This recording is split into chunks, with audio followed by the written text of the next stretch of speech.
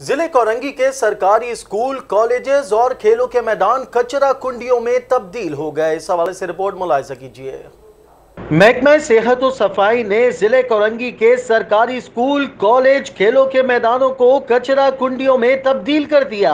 महकमे के अफसरान सफ़ाई सुथराई और कचरे की मुंतकली के लिए दरख्वास्तें वसूल करने के बावजूद शहरियों को दफ्तर के चक्कर लगवाते रहते हैं। ज़िले के आला अफसरान की अदम तवज्जो के बायस हज़ारों शहरी सख्त अजियत में मुबतला होकर रह गए। यूसी चौबीस लांडी जोन में महकमे के अफसरान हर दफ़ा बहाने बनाते बनाते हैं। कभी गाड़ी नहीं, कभी डीजल नहीं, कभी लेबर नहीं। ज़िले कोरंगी में वज़ीर सेहत का दस हज़ार रोड पर विज़िट हुआ तो एक दिन में हज़ारों टन कचरा उठा लिया गया।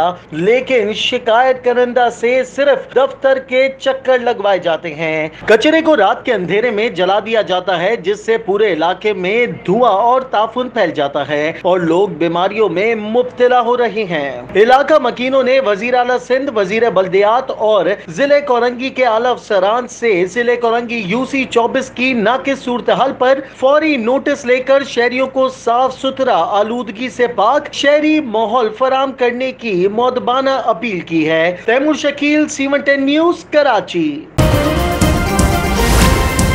C one ten news खबर की असल खबर।